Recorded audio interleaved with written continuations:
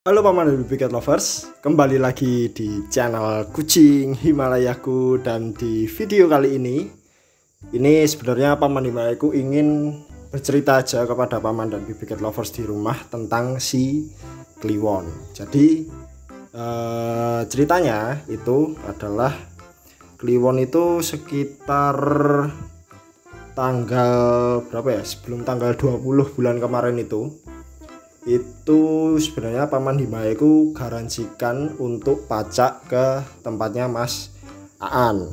Jadi kan masih garansi kan kalau pacak kan biasanya ada garansi berapa kali kalau belum hamil nanti digaransiin lagi gitu kan biasanya. Lah kemarin kan Kliwon belum beruntung nih belum hamil. Terus akhirnya paman Himayaku garansikan ke tempatnya Mas Aan.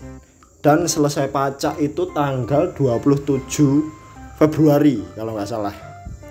Jadi tanggal 27 Februari sudah dikabari masaan bahwa udah berhasil e, pacaknya dan bisa diambil. Akhirnya paman Dima itu ambil si Kliwon.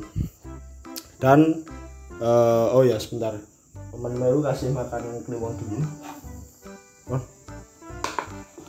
Oke jadi setelah itu paman Dima itu ambil kan si Kliwon Paman Nima bawa ke rumah dan ini sudah tanggal 9 eh bukan deh. Ini tanggal 11 11 atau 12 Paman Nima lupa tanggalnya. Jadi ini tepat sudah sekitar 17 hari si Kliwon itu setelah dipacak di tempat masakan ya. Jadi untuk 17 hari ini Paman Nima juga ingin me ngasih informasi kepada paman dan BBK lovers di rumah untuk perubahan-perubahan yang sudah terjadi pada Kliwon. Dan paman Mbakku juga meminta doanya supaya Kliwon yang pacar yang kedua ini bisa langsung hamil ya. Jadi nggak perlu paman Mbakku garansikan lagi. Dan eh, kalau untuk paman dan BBK lovers yang belum tahu si Mungil pun juga sekarang paman Mbakku pacakkan ke tempatnya Mas Aan. Untuk hasilnya nanti di video setelah ini. Dan oke okay, jadi singkat cerita Paman Himaeku bawa lagi ke rumah si Kliwon.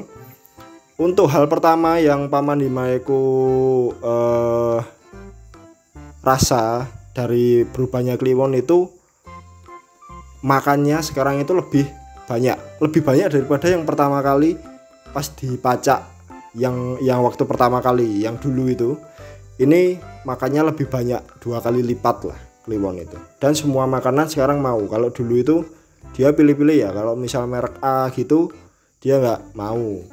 Maunya merek B lah. Sekarang merek A atau merek B atau merek lainnya yang penting makanan dia sekarang mau. Nah jadi mungkin itu juga jadi indikasi bahwa kliwon akan hamil atau mungkin kliwon bisa hamil atau kliwon hamil.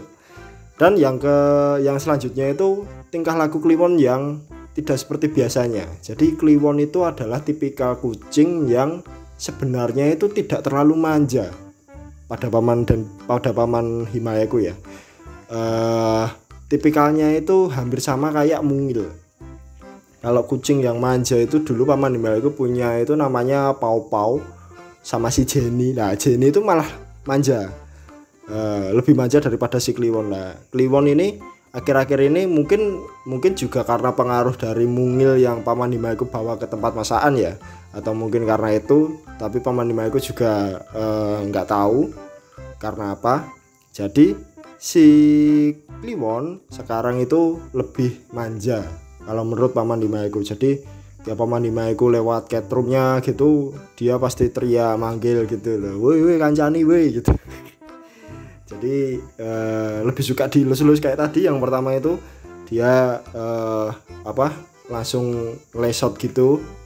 Langsung minta dilus-lus. Lah itu jarang sekali terjadi pada kliwon. Kliwon itu bisa dibilang kucing yang nggak mau. Ditidurin gitu nggak mau dia. Pasti langsung kabur. Nah ini tiba-tiba menunjukkan uh, apa tingkah laku yang seperti itu. Dan selanjutnya itu adalah kliwon dari kecil. Itu memang paman Himayaku kasih kuning telur. Tapi begitu umur sekitar tiga bulan sampai sebelum dipacak itu dia benar-benar tidak doyan yang namanya kuning telur. Jadi paman Dimaku kasih kuning telur kuning telur dicampur wet food kuning telur dicampur segala macam itu nggak nggak mau. Nah pas ini habis pacak di tempatnya masakan ini tiba-tiba jadi mau kuning telur nih. Paman Dimaku habis kasih kuning telur itu sampai habis. Sampai habis dia makan kuning telur. Sekarang jadi mau untuk makan kuning telur. Ya ini bagus juga ya karena kuning telur itu setahu paman Dimaeku untuk bulu juga bagus untuk badan juga bagus. Bikin cepat gemuk lah istilahnya gitu dan paman Dimaeku eh, berharapnya dengan dia mau makan kuning telur ini juga nambah nutrisinya dia kalau seandainya dia itu hamil.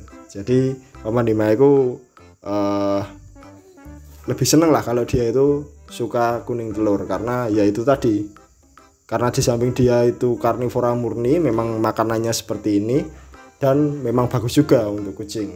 Jadi ya paman aku berharap sih ini yang kedua ini nanti uh, Kliwon langsung hamil. Dan juga uh, tadi paman aku sempat bahas tentang si mungkin nanti ada di video mungkin hari Kamis mungkin ya hari Kamis paman aku paman Himalaiku upload. Jadi uh, tunggu aja di channel kucing Himalaiku official.